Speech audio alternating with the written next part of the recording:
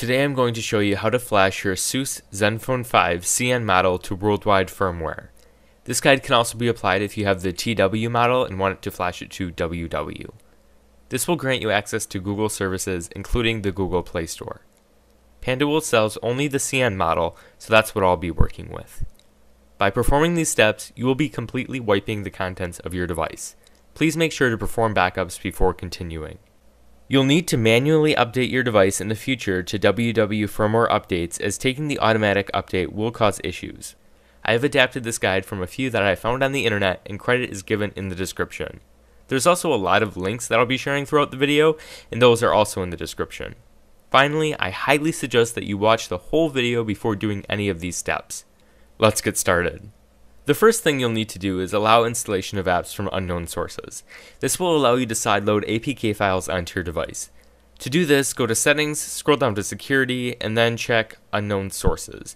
You may see a warning message, just go ahead and press OK. Now that you've turned unknown app installations on, you'll need to launch the web browser. Go to bit.ly forward slash z5root and press enter. The root APK file will now download. Once it is finished downloading, install the APK by either tapping the notification or by opening it from the Downloads app. Follow the instructions to install the root app and then launch it. Now make sure to turn off Wi-Fi and cellular data before proceeding. Make sure that Super SU is selected and then press the button to root your ZenFone 5. Once the process completes, you'll need to reboot your device. After rebooting, you should now have root access. You'll also need to download and install ES File Explorer so we can copy a couple of files later. You can download the APK package from bit.ly forward slash ESF Explorer.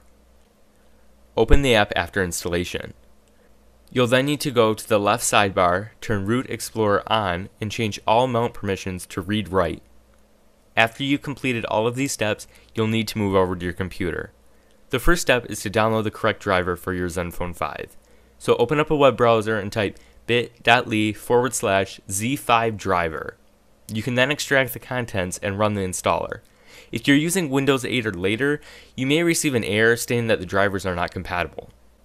A quick workaround to this is to right click on the exe file and troubleshoot compatibility.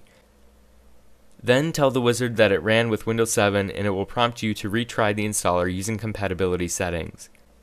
This will trick the installer into thinking that you're running Windows 7 and has no effect on the overall driver performance. You'll also need to download an ADB installer tool from bit.ly forward slash ADB install. You could also download the entire SDK, but you won't be needing anything beyond ADB and Fastboot. Once downloaded, run the installer with administrative privileges. Type Y for every question and then you'll need to go back to your web browser. Now you need to download two ROMs of version 1.14.40.50. The first is going to be for your particular phone model.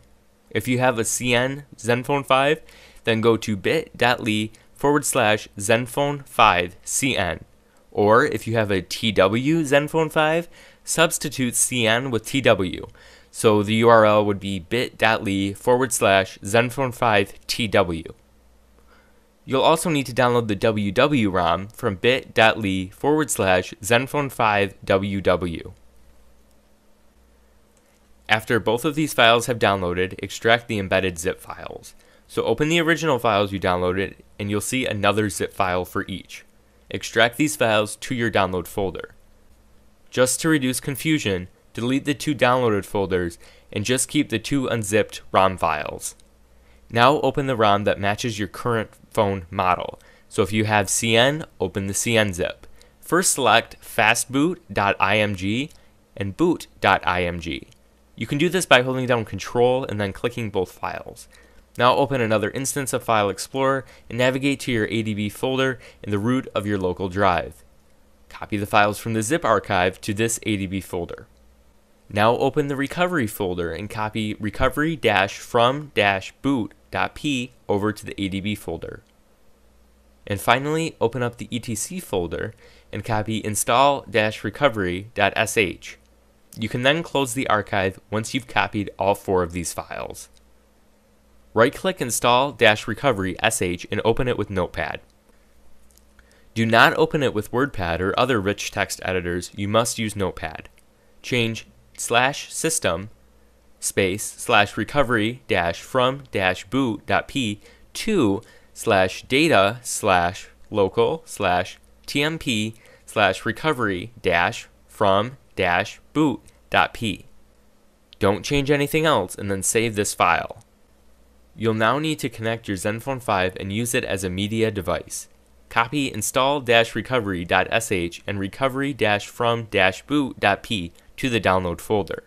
Then disconnect your Zenfone 5 and unplug the sync cable. Open ES File Explorer, navigate to the download folder, and cut both of these files. Navigate to Data, Local, TMP, and then paste these files. Exit the app and power off your phone. You'll now need to press and hold the volume up button and power button. Release the power button after you see the ASUS logo. If you can't seem to access Droid Boot, make sure that you're holding down the power button until after you see the logo. You're now technically in fast boot mode, so reconnect the phone to the PC. Now go back to your ADB folder and hold Shift and right click. Select Open Command Window here, and then type Fastboot Devices. You should see your Zenfone 5 listed here. If not, try to manually install the driver from earlier and repeat this process. You'll now need to enter two commands. The first is fastboot flash fastboot fastboot.img. Your phone will indicate the result of this command. If it was successful, continue with fastboot flash boot boot.img. If the phone says the flash was successful, reboot your phone into normal Android.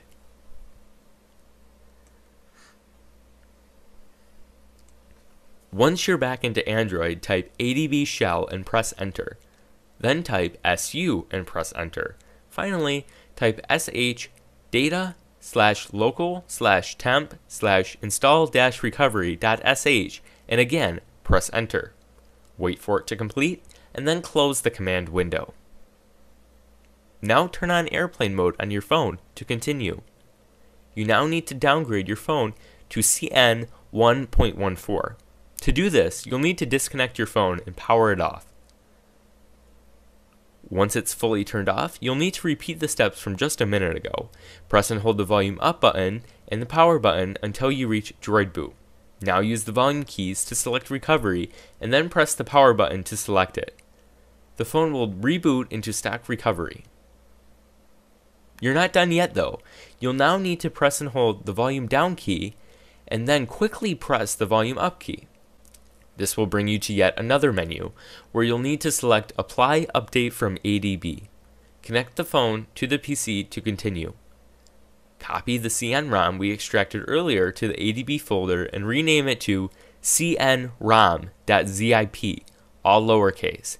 Make sure that you're copying the actual ROM zip and not the file you downloaded with the ROM inside. Open the command window by holding shift, right click, and select open command window here inside of the ADB folder. Type adb sideload cnrom.zip and wait for it to complete.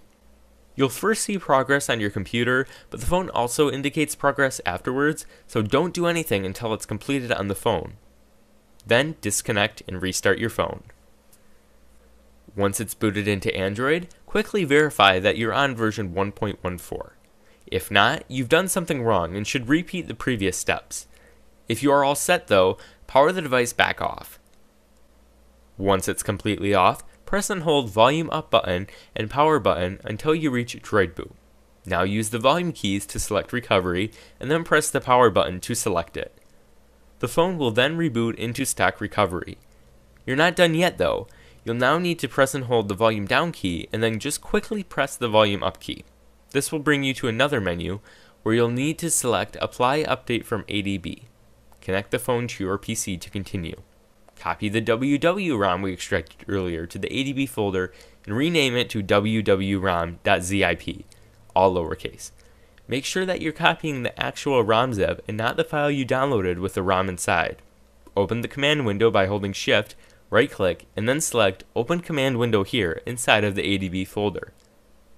Type adb sideload wwrom.zip and wait for it to complete.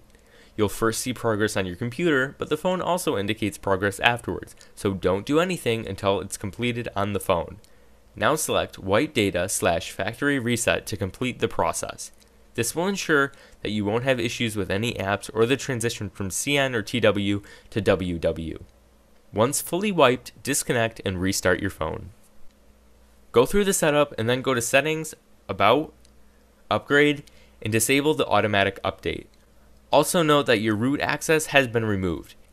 You should now be running the WW firmware and also have access to Google services. If these steps worked for you, please make sure to give the video a thumbs up. Also, don't forget to subscribe to see more unboxings, reviews, and guides.